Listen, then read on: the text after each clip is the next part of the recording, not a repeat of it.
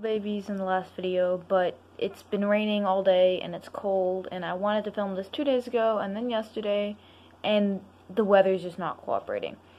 So here we are, I just wanted to give a quick short update.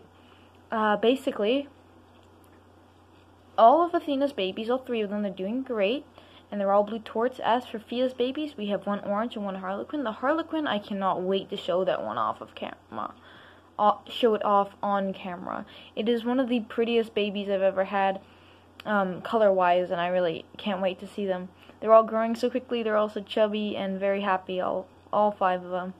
So hopefully in the next video I will be able to pull those out of the boxes and show you guys them.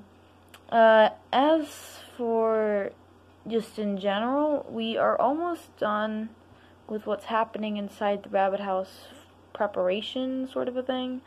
Um,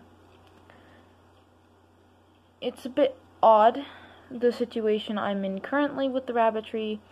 I'm attempting to uh, up my quality, and it's really I'm I'm genuinely really stressed from all of this.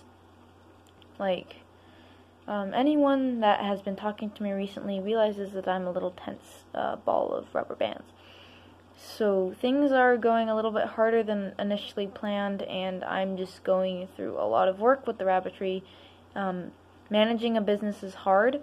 Managing a business with live animals is even harder, and now managing that business with live animals as a teenager is super difficult.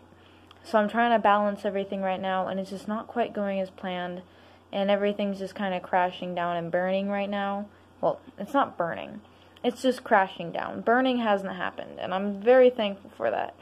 But difficulties have been appearing every single day, uh, so yay.